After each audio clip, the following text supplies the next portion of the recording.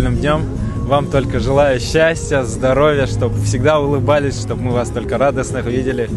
Будем чаще видеться, радовать друг друга.